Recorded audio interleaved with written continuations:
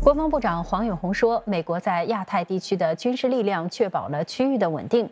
他促请美国加强同印太区域的经济联系。”黄永红是在出席第九届里根国防论坛时发表了这个看法。黄永红到美国加利福尼亚出席。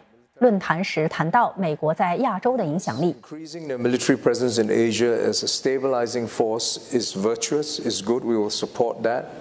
We think that the U.S. should do more to engage, as it did previously, to build an economic framework which, as a tide that can lift all boats, and be careful on Taiwan.